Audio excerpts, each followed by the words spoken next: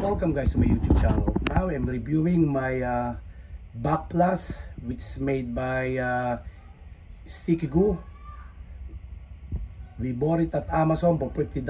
Uh, this is what it looks like as you see. I'm already done uh, installing this and it's a really beautiful.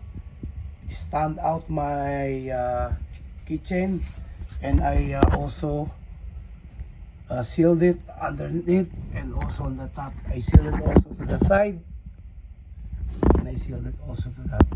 And as you see, it holds up really well.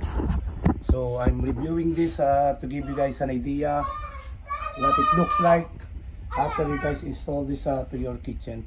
It's really beautiful. As you see, I uh, I'm happy that I uh, installed this to my uh, kitchen and I don't have any uh, problem whatsoever so far.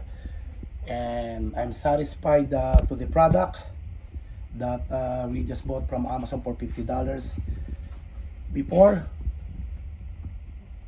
This this wall is made by uh, drywall white uh, board uh, drywall and I hate it. I don't like the way it looks like. So we decided to uh, buy a backsplash made by uh, StickGoo and I'm happy uh, for the uh, that we just bought. And I'm satisfied uh, for the result after I installed it. And that's what it looks like. And look at my uh, kitchen right now.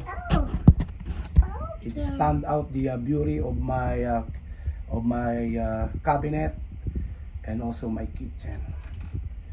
So if you guys uh, in the market of uh, doing your project and changing your your ba backla or changing your uh, wall and make it uh, beautiful as what I have right now. So you can order it at Amazon. I'm not affiliated to Amazon but I'm reviewing this to give you guys an idea what it looks like after I install it. You can see my uh, YouTube video uh, how I install uh, partial of uh, how I install this uh, back plus it's an easy way to do it. You guys can do this by yourself. No need for you guys to hire a uh, a tile installer or buying a uh, a stone tiles. You can use a vinyl with metal uh, insert and it's beautiful.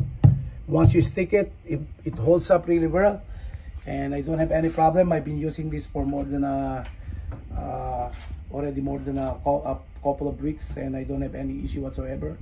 After I install I like it. Don't forget to seal uh, underneath and also on the top uh, don't forget to seal it. That's what I did. And it looks really beautiful. So I don't have any complaint whatsoever.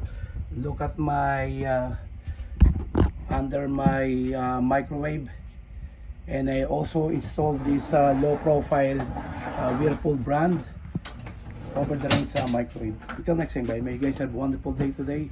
I hope you guys keep uh, watching my YouTube channel. Kindly share like and subscribe to my YouTube channel. I catch you guys later for my next video. Bye for now